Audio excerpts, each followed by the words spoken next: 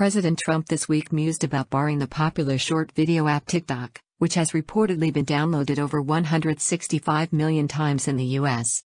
His comments came a day after Secretary of State Mike Pompeo floated such a ban as part of an escalating trade war with China. TikTok is owned by Beijing based ByteDance, and critics warn that the Chinese government can spy on its users. But while the Trump administration has talked about banning TikTok, it's unclear how exactly such a ban would be carried out.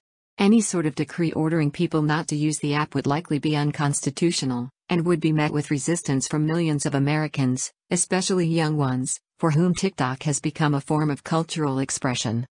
According to lawyers at the Electronic Frontier Foundation, EFF, a digital rights group, Trump's pledge to ban TikTok may reflect bluster more than any sort of coherent policy. Kurt Opsahl, general counsel of EFF, says the White House could attempt tactics such as barring federal workers from using TikTok or preventing federal money from being spent on the app.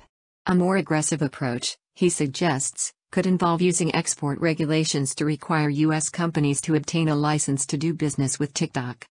For practical purposes, such a licensing requirement would likely target Apple and Google, whose app stores are where the vast majority of people get the TikTok app in the first place. But it's unclear if export regulations, which the U.S. has successfully employed to limit Chinese hardware manufacturers like Huawei and ZTE, could apply to something like an app. The use of such regulations typically entails barring a U.S. company from exporting chips or other technology, and Apple and Google don't appear to do anything of the sort in providing their app stores. Moreover, TikTok has significant US based operations and could argue export regulations don't apply to them. Any proposal to ban TikTok is further complicated by the fact that the app is a type of software code, and courts have found that publishing and using code can be protected by the First Amendment. Mitch Stoltz, a senior attorney at EFF, points to a recent case in which the Ninth Circuit of Appeals ruled the federal government could not use regulations related to weapons exports to force a cryptography researcher to submit his code for license and review.